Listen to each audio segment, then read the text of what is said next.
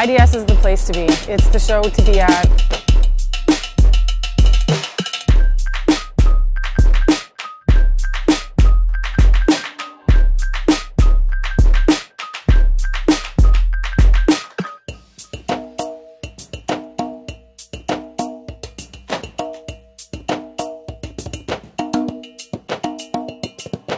You're getting the best of the best of people that are serious about design.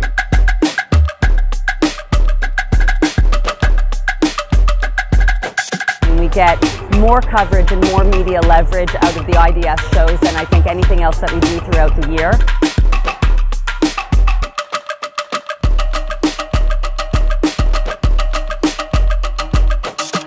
This is conceptual. It gives you the opportunity to showcase what you can do if there are no limitations.